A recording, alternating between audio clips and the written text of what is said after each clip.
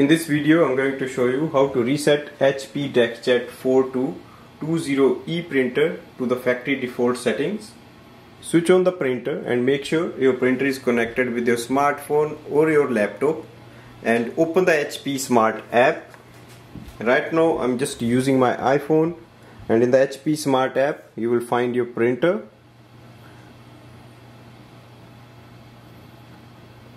It will display HP DeskJet 4200 series.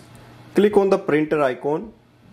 Scroll down to the end and look for the advanced. In that click on the advanced settings. It will take you to the HP website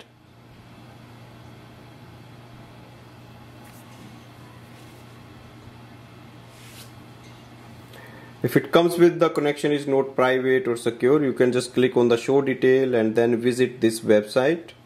Visit.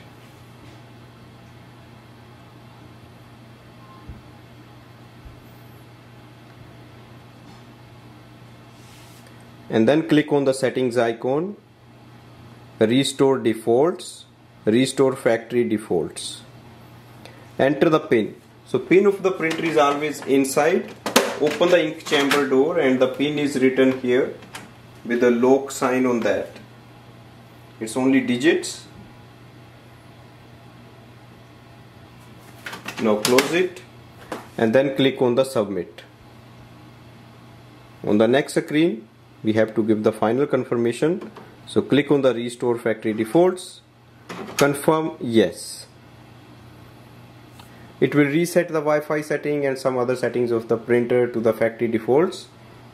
And if you want to connect it with the new Wi-Fi and then you can start the new Wi-Fi setup.